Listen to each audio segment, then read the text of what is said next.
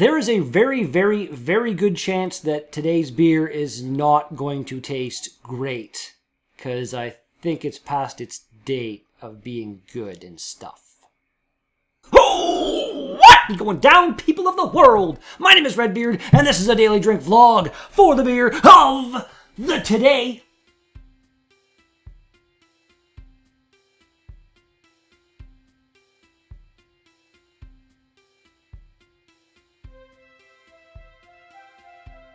We've got a bottle of Fresh Hop Harvest by Trafalgar Ales and Meads. Yeah, just like their mead that I had not that long ago. If you go to Trafalgar Ales, sort of Trafalgar Brewing, which is on the back, it takes you to allornothing.beer. So I'm pretty sure they've been bought out or something like that. Where the hell is my bottle opener? This will work, I guess. I'm not quite sure what's going on here. Let's crack her open. I haven't really ever used this bottle opener on this thing. It works. It worked well. And let's see what we've got. What I was saying about this possibly not tasting quite right is it says fresh hop harvest. So I'm assuming that this was, you know, made to be drank fresh. And even says, enjoy fresh. And says, best before April 2017. We're now into April 2017, and this poured a fair bit ahead. I'll get all that worked out, and we'll come right back. As always, all the thanks in the whole wide world. Please watch my videos. The beard loves you all so very, very, very, very, very, very much. Managed to get her all in there, just barely. And I'm not sure if you can really see. Probably kind of see in there. There's there's a fair bit of sediment floating around inside that glass. Smells kind of nice tropical kind of citrusy, hoppy aromas. Still mildly scared though. I'd like to know, I'd really like to know when this was made. Because there's there was still like I bought this maybe three days ago, and there was still a lot of them sitting on the shelf. So let's give her a shot.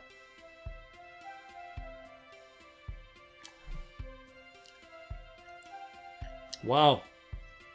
Oh my god. That is really, really bitter. I, I, I don't think it says. It's a one hop, one malt. I'm not seeing 5% alcohol. I don't see IBUs anywhere. I'd kind of like to know what the IBUs are because it tastes really high. But not bad. I don't know. Maybe I'll enjoy it by the end. Let's let's do this. Cheers, everybody.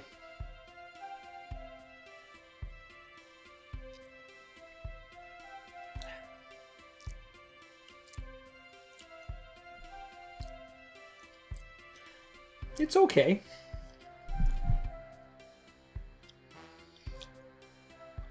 Yeah, it's, it's, it's really not that bad. I'm almost certain the overall flavor profile is not what it was when it was originally bottled, but it's decent.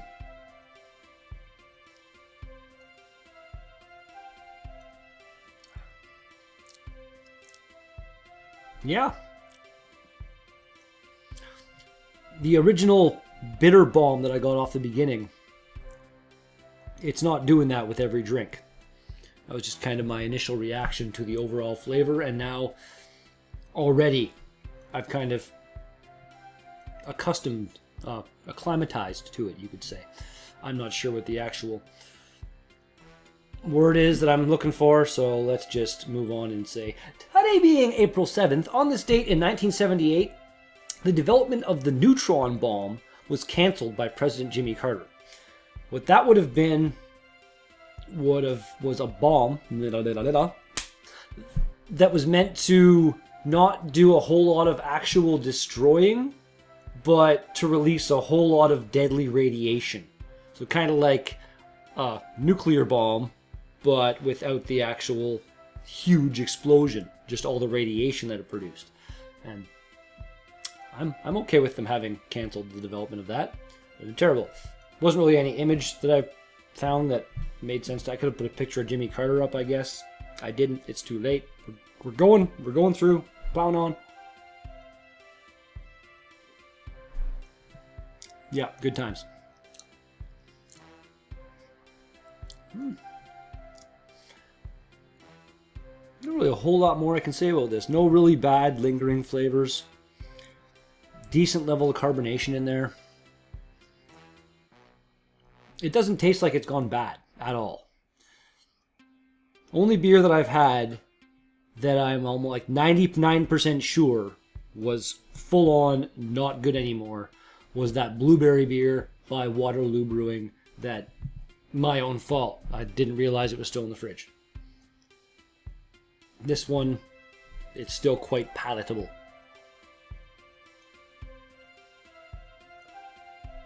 Like, quite palatable actually. It's kind of grown on me here. I'm not a, I'm not not a fan. You could say if you're into double negatives and stuff.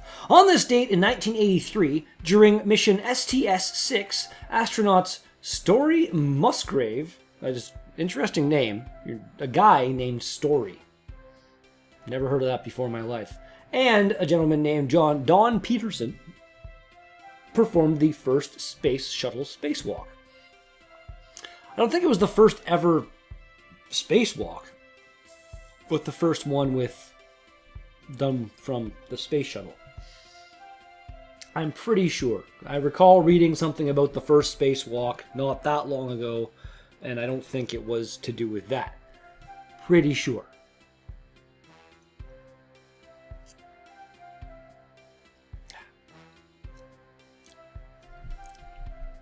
Yeah.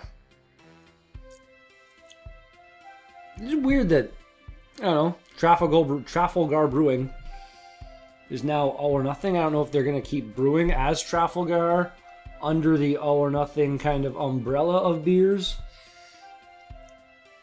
Or if they're going to completely rebrand as All or Nothing beers. Who knows? So I want to say All or Nothing is actually kind of affiliated with Granville Island.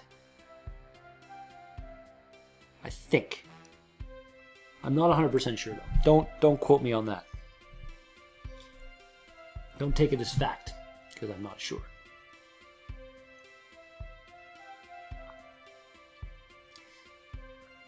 I am sure that I kind of like this beer though. Speaking of, there's actually a decent amount of stuff to read here. Trafalgar has selected premium hops grown in Ontario for this very special ale. Over one pound of fresh hops are picked per case, rushed to the brewery, and added to the wort, the wort all in the same day in a process called wet hopping. Huh. I didn't realize it was wet hop beer. Freshly harvested hop cones import, impart colorful, fragrant flavor. Fragrant, colorful, fragrant, fragrant, fragrant flavors Wow! And aromas in the beer. Trafalgar was the first Ontario craft brewery to use Ontario grown hops commercially in 1999.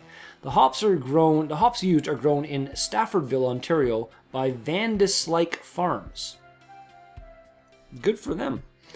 Tasting notes golden amber color, vibrant aroma of hops with a touch of citrus, creamy white head, clean taste, and a refreshing hoppy finish.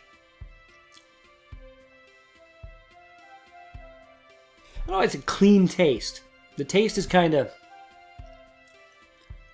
I don't want to say dirty either, but I don't know. It's good, I'm not denying that. No ingredients on there. You could have even said, like, you have your one hop, one malt. You could have said what the hop and what the malt were. Actually, do you? You say the hop, don't you? Actually, no, you don't. You just say uh, premium hops grown in Ontario. so, you know, kudos to you for staying somewhat local and stuff, but come on. Tell us what they are. I don't see why not.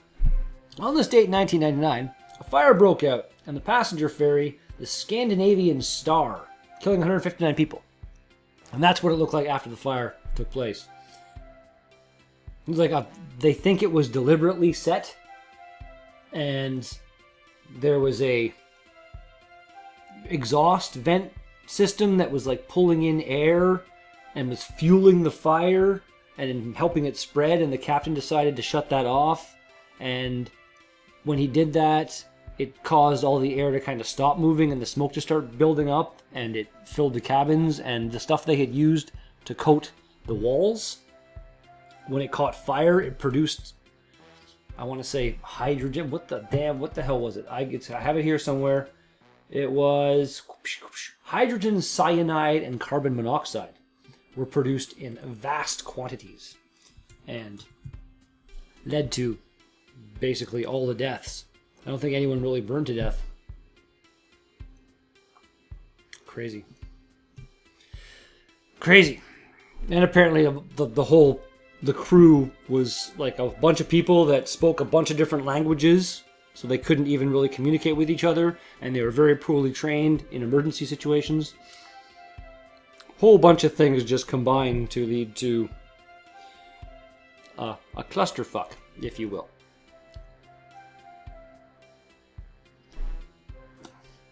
which is not a way that I would describe this beer. Nope. It's pretty good. I'm enjoying. Finally, on this date, in 1999, the World Trade Organization ruled in favor of the U.S. in its long running trade dispute with European Union over bananas. I didn't even look further into it. I just thought that was a hilarious thing to read. I found a picture of some bananas, and there we go. Good times. Drink never last.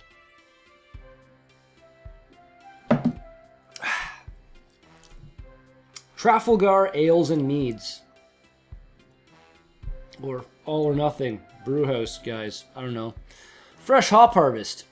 Even on the date that it was best before kind of thing. Rating on that? Solid 7. Might have been an 8 if there was some kind of ingredients on there.